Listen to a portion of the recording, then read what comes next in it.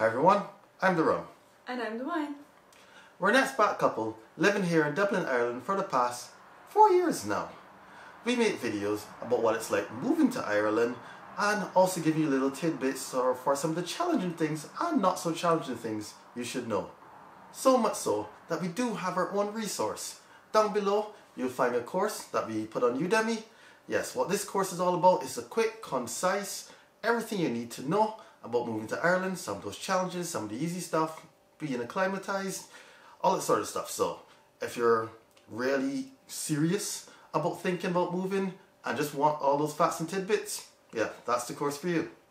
So for today's video, we're kind of like, I guess we can say ending off our life in pandemic series where we're just going to talk about some of the challenges we think would be in store for being an expat in 2020. Of course, we're expats here, living, and there are a couple of challenges which we think are pretty unique to expats, but also other people who have moved to a new city or moved to a new country and dealing with the impacts of this pandemic do present its own challenges. Please make sure to subscribe so you don't miss our other videos about being an expat in Ireland, pandemic related and not pandemic related hopefully soon. A lot more non-pandemic related. Yep. So let's start. So right now, Ireland is proceeding with phase three, I think it is, of the rolling back of restrictions or opening back up, if you will, from the pandemic.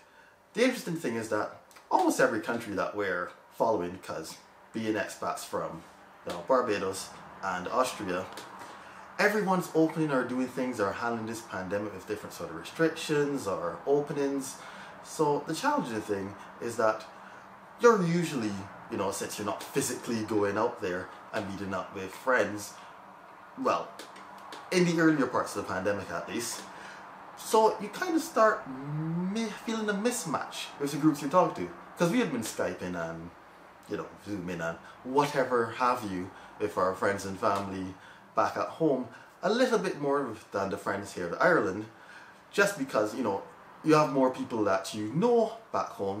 And so that's kind of created a weird mismatch of, you know, your conversation.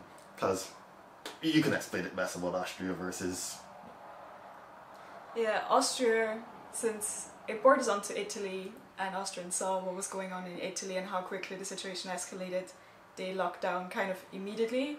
So all of my friends and family were already like talking the lockdown talk while we are in Ireland. We're still like we're in Ireland, is this really gonna affect us? Is it gonna change anything? So we're kind of always a step behind. And of course also when they peeled back restrictions they started much much sooner in Austria. And it took a lot longer to get the cases down and to get to flatten the curve as we're hearing everywhere um, in Ireland. And they're a lot more reluctant and careful than Austria is so it's always a bit weird if friends are like so where did you go this weekend and we're like well nowhere because we're kind of still in a lockdownish situation And one of the second things that we realize is that over this time, your interests might actually change.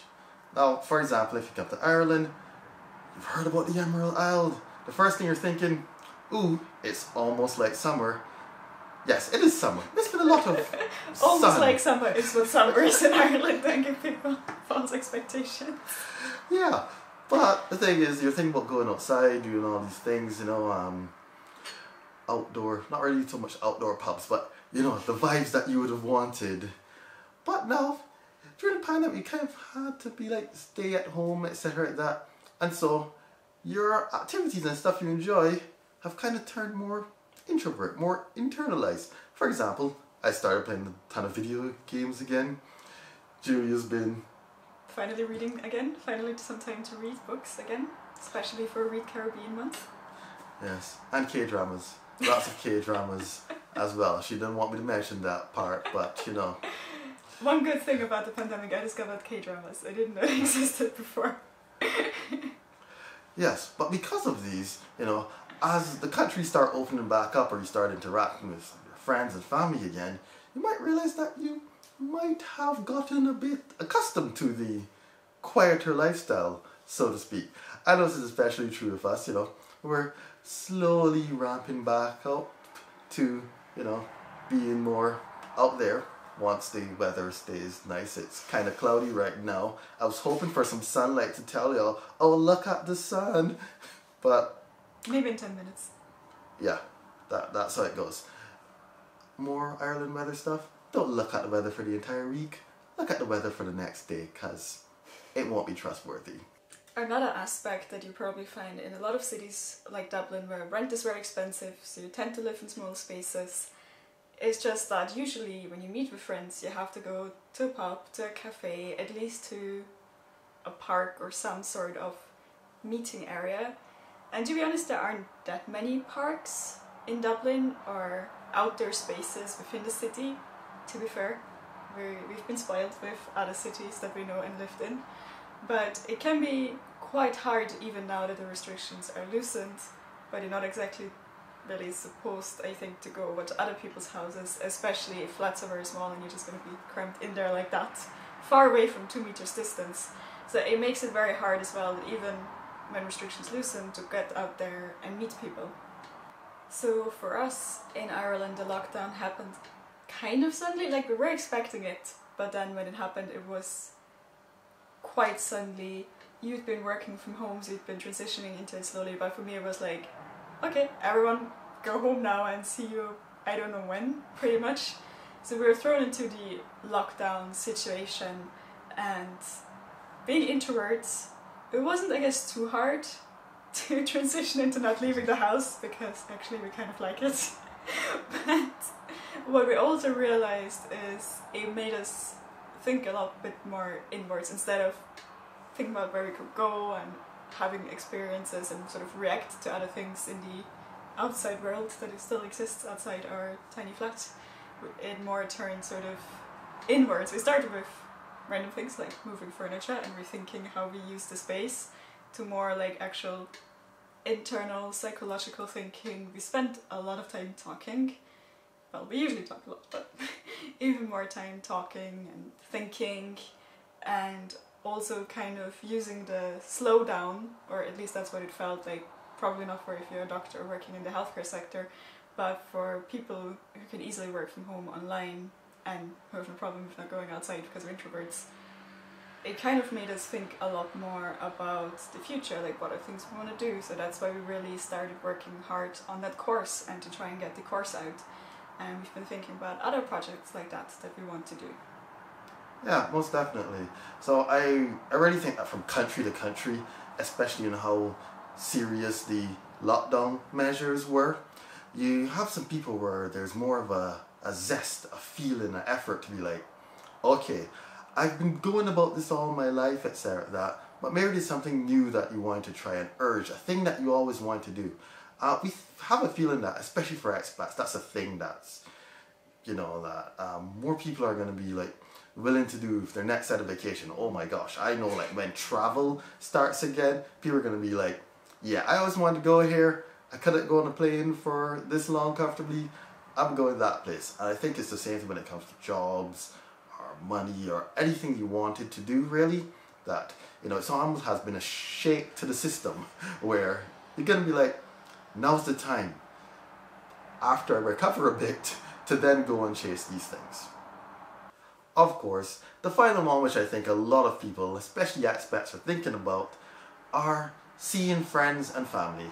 Close friends and family are usually living in another city or country and that's mostly what you do with most of your time off. Take your train, I don't think boat, but you know, flight. Ferries maybe. Ferry flight, that's true. You know, to go see them. But in the current situation, that's still, even though, you know, flights are starting back and opening in most places from next month, it wouldn't just be the same. So I've had a lot of people who are sure just in continental Europe, they may be able to, you know, head back home and see friends and loved ones. But for more further international travel, that might be difficult this year. Especially if you have to go through other countries because there isn't direct flights like to Barbados from Dublin. Right, yes, and you know, if um, certain people are people from, you know, more COVID affected areas in, then that could definitely be a challenge. So, as an expat, already a person who loves to travel, even if you're not using a holiday to go visit loved ones, like for us, usually that's something we, we really look forward to. Where, well, I I guess, um, the stereotypical Austrian overly planning everything, being like not exactly we know a year in advance where we want to go, but I'll have all the information, everything researched and put together probably like half a year before, and we usually hype up the anticipation for our trips that way and get really excited for them. Except this year, it's like half the year's over. We haven't really taken time off. Eventually, we will have to because in Ireland, you do the 20 minimum days plus whatever extra days you get from the company. You, you have to take off. Like, you can carry some over, but pretty much sooner or later, we have to take vacation. And we're still a bit torn what to do with it. Originally, our plan was to finally go and see more of Ireland still kind of is the plan, but we're not so sure. Like it's only I think from this week, next week that we're allowed to leave the county so that we can actually go and for once leave County Dublin. Like we finally wanted to. But we're still a bit unsure where to go with the amount of people that might be there, if stuff is open, public transport operating, so if you have any suggestions, if you live somewhere in the countryside in Ireland, you're like, out here is chill, not too many people, places are still open, you could get a hotel. Let us know in the comments. yeah, sure, that should be fun. And also, you know, um, for other expats who usually head back home for cultural holidays, I know everybody's probably in the back of their mind thinking, how normal is Christmas gonna be? That that's that's the big one.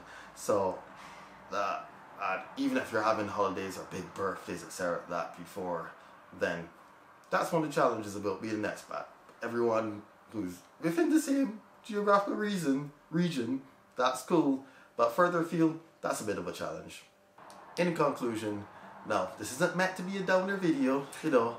This is more about accepting some of the realities, but also just knowing what to expect so you can deal with them.